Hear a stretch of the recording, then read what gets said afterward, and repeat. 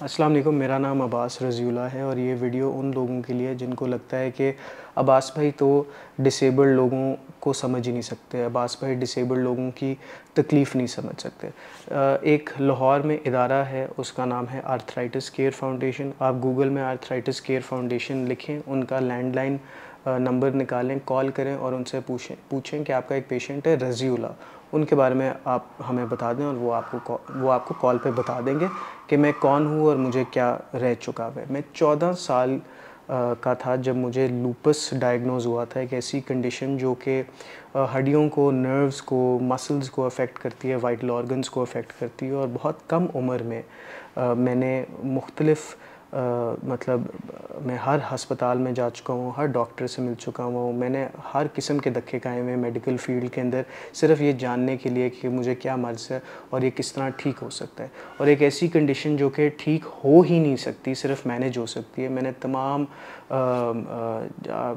Doctor से ये सुना हुआ है कि आप ये कर लें तो ठीक हो जाएगा, आप वो कर लें तो ठीक हो जाएगा। तो मैंने बहुत कुछ एक्सपीरियंस किया हुआ है चौदह साल की उम्र से लेके अब तक और आज तक।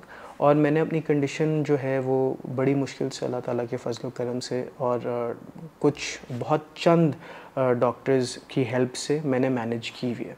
तो हमारे से ज़्यादा हमारे, जब मैं हमारे कहता हूँ तो मैं न्यू पार्क सर्जिकल की बात कर रहा हूँ, जो कि मैंने स्टार्ट ही इसलिए की थी क्योंकि मैं हमेशा से चाहता था कि लोगों के अपने आप के अंदर एक इंडिपेंडेंस पैदा हो जाए। मैं हमेशा हमेशा से चाहता था कि लोगों के अंदर एक मोटिवेशन हो कि चाहे आप जिस मर्ज़ी चीज़ के थ्रू गुज़र रहे हैं, आप कर सकते हैं। आप अपने चैलेंजेस को ओवरकम कर सकते हैं। इसलिए मैंने न्यू पार्क सर्जिकल बनाई थी, क्योंकि मैं समझता था कि पाकिस्तान में अनफॉर्चुनेटली इतनी ज़्यादा नॉलेज नहीं है इस चीज़ों के अंदर, और मैं नॉलेज गेन करना चाहता था, और मैं वो नॉलेज लोगों तक पहुँचाना चाहता था। न्यू पार्क सर्जिकल से पहले मुझे फ़िटनेस का बहुत ज़्यादा शौक़ था, और मैंने फ़िटनेस और न्यूट्रिशन में जाना था, क्योंकि मुझे जब लूपस था तो मुझे बहुत ज़्यादा तकलीफ़ रहती थी। हड्डियों में, जोड़ों में मसल्स में।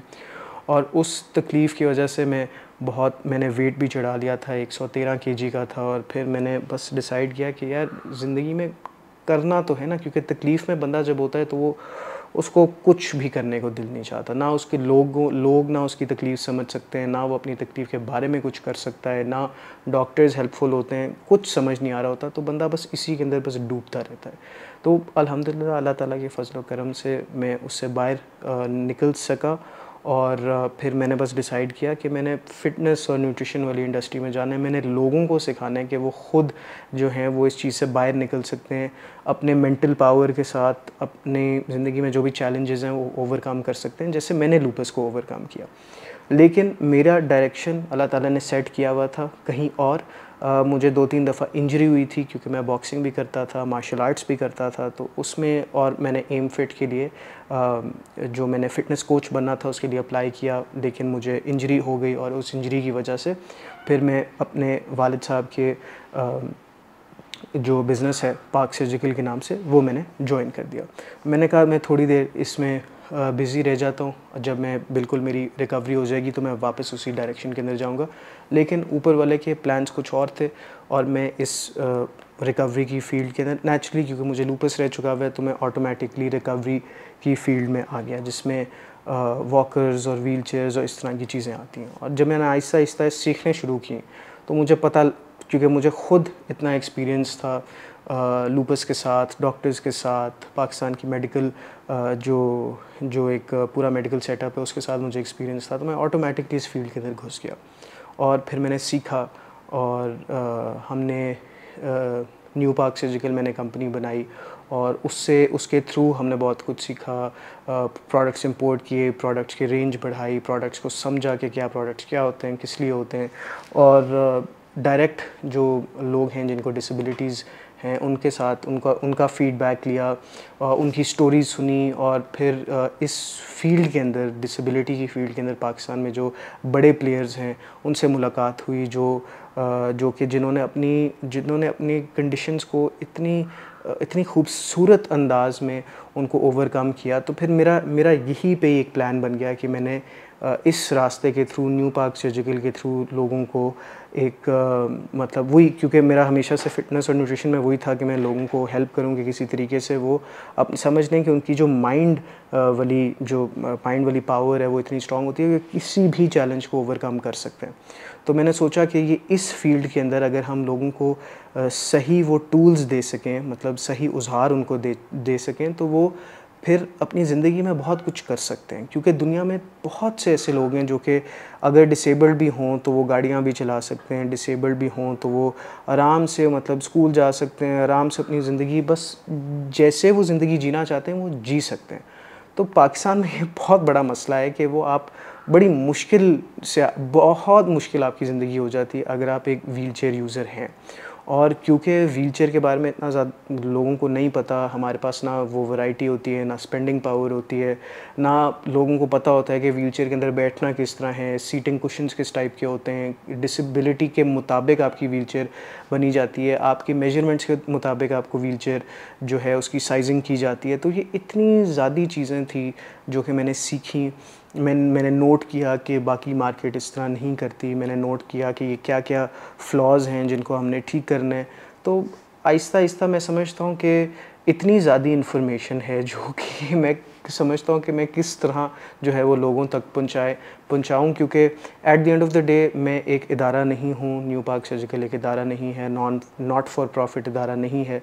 वो एक बिज़नेस है, उसने बिज़नेस की तरह फ़ंक्शन करना होता है। लोगों को बड़ी एक उनका, उनकी जो कंडीशन है, उनकी वजह से, उस कंडीशन की वजह से उनको तकलीफ़ रहती है।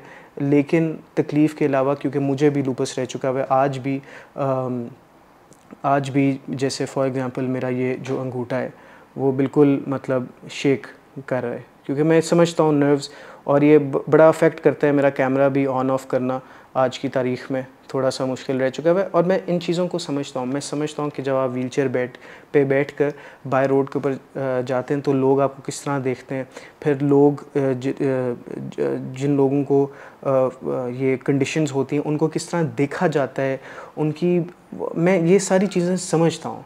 और क्योंकि मैं ये चीज़ें समझता हूँ तो मैं समझता हूँ कि क्योंकि मैं ये चीज़ें, क्योंकि मुझे इन चीज़ों के बारे में एक आइडिया है तो मैं इन, इसको किस तरह टैकल कर सकते हैं, इसको किस तरह हम एक बेहतर अंदाज में लोगों को तक पहुँचा सकते हैं, किस तरह हम लॉ में रिफॉर्म्स ला सकते हैं, किस तरह हम व्हील चेयर यूज़र्स को एक ना सिर्फ़ आइडेंटिटी दें, बल्कि इसको नॉर्मलाइज करें। देखें बाज़ात आप देखते हैं कि हमें लोगों को कन्विंस करना पड़ता है कि यार ये देखो, ये अगर ये व्हील चेयर यूज़र है तो वो सोसाइटी में ये कर सकता है या वो कर सकता है या फ़लाँ बन सकता है या टमका बन सकता है। लेकिन मैं ये नहीं सोचता। मैं ये सोचता हूँ कि अगर किसी ने अपनी कोई व्हील यूज़र है और उसने ज़िंदगी में कुछ भी नहीं करना, उसका फिर भी एक हक़ है कि वो बाकियों की तरह उसने जहाँ जाना है, वहाँ वो आराम से जा सकता है। अगर उसने यहाँ यहाँ तक हमारे मसले होते हैं कि हमारे बैंक्स में इतने इतने वेल इस्टेब्लिश्ड बैंक्स होते हैं पाकिस्तान में, जिन, जिन्होंने इतने वाहियात किस्म के रैम्प्स सेटअप किए होते हैं कि आप समझते हैं कि यार ये किस नाम की बैंक है? और या हमारी जो है वो पुलिस स्टेशन में रैम्प्स नहीं लगे होते, या हमारे साइड वॉक्स इतना बड़ा पाकिस्तान में मसला होता है कि साइड वॉक्स के ऊपर या खंबे लगे होते हैं या दरख्त लगे होते हैं तो व्हील चेयर यूज़र तो बिल्कुल भी साइड वॉक के ऊपर नहीं चढ़ सकता। या उन्होंने साइड वॉक को इतना ऊँचा किया होता है ताकि गाड़ी ना पार्क कर ले, लेकिन उस साइड वॉक की ऊँचे होने की वजह से उसके ऊपर व्हील चेयर नहीं आ सकती। तो तमाम ये बहुत ज़्यादा ऐसे इशूज़ हैं जिनको हमने सॉल्व करना है रिज़ॉल्व करना है। फिर पाकिस्तान में मैन्युफैक्चरिंग का बहुत बड़ा इशू है। मैन्युफैक्चरर को इंडस्ट्रियल मैन्युफैक्चरर को सपोर्ट नहीं किया जाता, जिसकी वजह से फिर हम इकोनॉमिकल व्हील नहीं बना सकते। पाकिस्तान में व्हील के लिए एक सेपरेट मतलब लोगों को, जैसे फॉर एग्ज़ाम्पल मैं पाकिस्तान में पहली दफ़ा वो वाहिद इदारा है न्यू पार्क सर्जिकल वाहिद बिज़नेस है, जिसमें मैंने एक international society of wheel chair professional से एक क्रेडिटेशन हासिल किया हुआ है, जिसमें आप व्हील चेयर प्रोविज़न मतलब कौन सा यूज़र की क्या मेज़रमेंट है, उनके लिए कौन सी व्हीलचेयर जो है वो सूटेबल रहेगी। इस तरह के लोग और होने चाहिए। व्हीलचेयर के ऊपर एक टोटल मैं समझता हूँ एक पूरी गाइडलाइन होनी चाहिए लोगों के साथ। लेकिन इस वीडियो को बनाने का मकसद ये है कि मैं आपकी तकलीफ़ समझता हूँ और उस तकलीफ़ के में समझने में मैं इस सोसाइटी को, पाकिस्तान को व्हीलचेयर यूज़र व्हीलचेयर यूजेज के हवाले से इस मुल्क में मैं बेहतरी लाना चाहता हूँ रिफॉर्म्स लाना चाहता हूँ। और मैं तमाम वो ऐसी चीज़ें मेरे प्लान्स हैं कि उनको किस तरह हम ठीक कर सकते हैं, लेकिन इसमें मुझे एक तो कांस्टेंट सपोर्ट चाहिए अपने फॉलोअर्स से, और उस सपोर्ट का ये नहीं मतलब कि वो हमारी बिज़नेस में आए या हमारी बिज़नेस दें, उसका कोई वो नहीं है रिस्क अल्लाह ताला के हाथ में होता है। लेकिन मुझे अपने फॉलोअर्स से ये सपोर्ट चाहिए कि मुझे फ़ीडबैक चाहिए।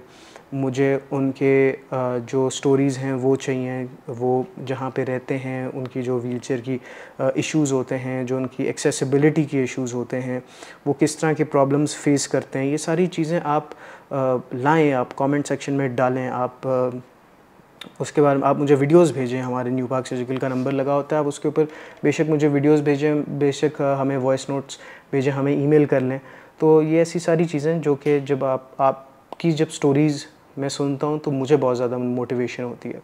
और मैंने एक काम ही इसलिए किया था क्योंकि लोग जब अपनी चैलेंजेस मतलब लोग जब अपने मुश्किलात के थ्रू जब अपने मुश्किलात के ऊपर आ जाते हैं क्योंकि उन्होंने बस एक उन्होंने एक डिसीज़न बना ली होती है, उन्होंने उन्होंने एक फ़ैसला कर लिया होता है कि बस मैं अब मैं अब जो है वो अपनी तकलीफ़ से आगे बढ़ूँगा।